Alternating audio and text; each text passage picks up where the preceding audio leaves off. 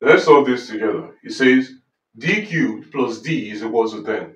Okay, how do we solve for d in this question? First thing we can do is to factor out d. So we have d into d squared plus 1 is equal to 10. Okay? Now 10 is 5 times 2, right?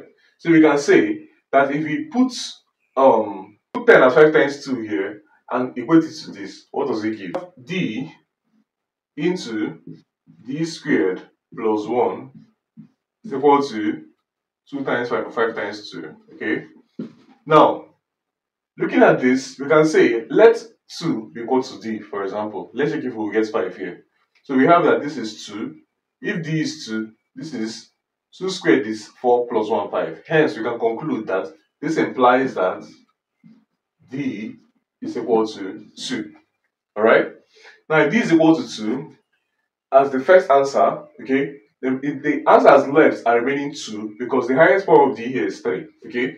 But this is the only real answer we're going to get, unfortunately. This is the only real answer we're going to get for this equation. But let's go ahead and get the complex answers for this equation. Now, if d is 2, we can conclude from here that, therefore, d minus 2 is equal to 0. Okay? This is a factor. d minus 2 is now a factor because it's equal to 0. Okay? Now, we can now say that, recall that we had d cubed plus d is equal to 10. Okay? Now you can bring it back again, and we'll write it like this. We'll write d cubed. The next thing that will follow is d raised power 2. So we have, we don't have any d raised power 2, so we put plus 0 d raised power 2. Okay? Now plus d plus d minus 10 is equal to 0. Okay? Now, we are going to divide this by d minus 2. Okay? So we'll divide this by d minus 2 and check what we get d cubed divided by d is d squared. Okay, d squared times d is d cubed. Times minus 2 is minus 2d squared. Okay, subtracting this becomes plus 2d squared. 2d squared divided by d is plus 2d.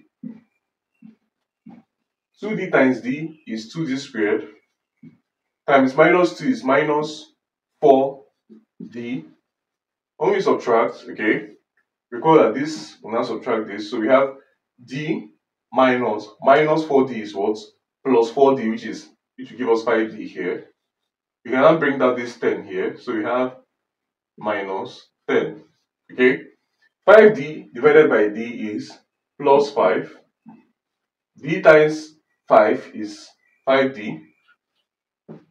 And 2 minus 2 times plus 5 is minus 10. When we subtract, this gives us 0, okay? Hence, the quotient of this is d squared plus 2d plus 5. What does this mean? This means that our second factor for this equation is d squared plus 2d plus 5, okay? So what we're going to have is this. Now moving on from here, you can see that we have d minus 2 into d squared plus 2d plus 5 equal to 0. And you're asking me, oh Fortune, why did you write it like this? The reason is because when you divide a polynomial by a factor. Remember that we said that this was a factor before. When you divide a polynomial by this factor, you should get another factor. Given that you you don't have any remainder. So when we divided, we had 0 as the remainder, and we had this, meaning that this is the second factor. Okay? Now, when two things are equal to when two things are equal to 0, it's either the first one is equal to 0 or the second one is equal to 0.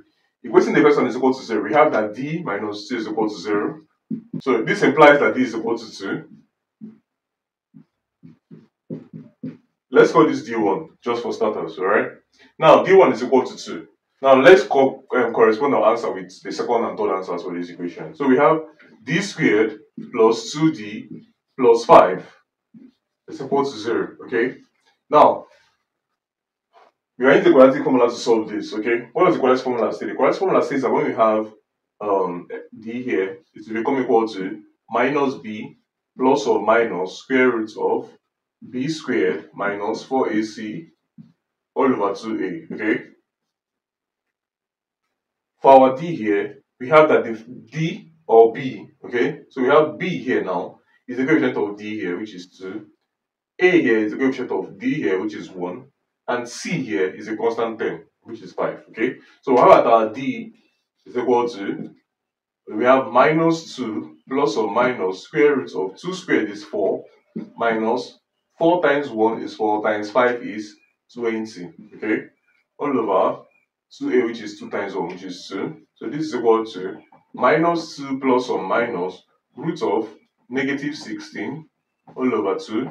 This is equal to minus 2 plus or minus root of negative 16 is 4i. Okay, all over 2. Okay, now moving on from here, we have that our d here is equal to minus 2 divided by 2 is negative 1 plus or minus 4 divided by 2 is 2i. Okay, so these are d2 and d3. Okay, so the first answer is that d1 is equal to 2, and the rest of the answer is that d2 and d3 is equal to minus 1 plus or minus 2i. Okay, these are the answers to this question. Thanks for watching. What's going on guys? It's Fortune here editing this video. As you can see about 99% of you guys are not subscribed to the channel. So please subscribe, like, comment and share my videos as this helps to push my videos out to more viewers out there. The more you subscribe, the more viewers can see my videos, the more we grow in this community. Thanks for watching and I'll see you guys in my next video.